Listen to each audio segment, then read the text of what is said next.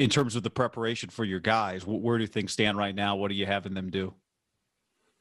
Uh, they're lifting weights and running and stuff, you know, cool stuff like that. But I, I really like the direction of this team. Um, you know, kind of kind of treaded water for a while there, and probably a lot due to COVID. But um, I think we turned the corner probably about two or three weeks ago. I'm, I'm excited.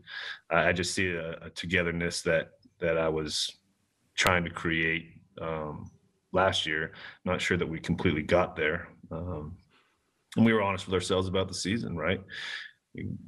Playing good when it's good, things are good. When things are bad, we were we were nowhere to be found. And I do not want to be a part of a, a front runner football team. I want to be a team that fights. I want to be a team that will will scrap and will be excited to play when you're down, as you are when you're up.